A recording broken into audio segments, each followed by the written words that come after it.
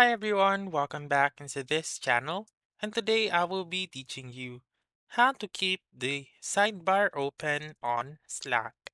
So let's begin right away.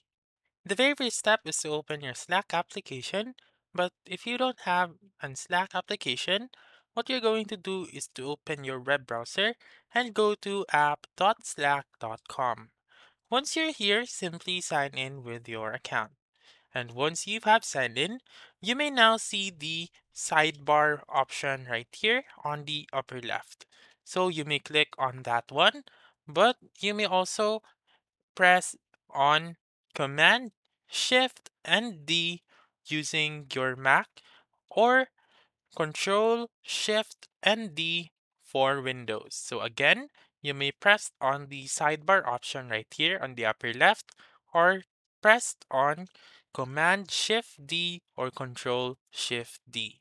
So that's it.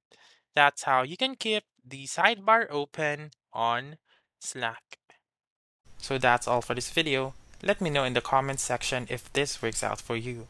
For more helpful tutorials like this, please subscribe to our channel and don't forget to click that notification bell. Thank you for watching and have a wonderful day.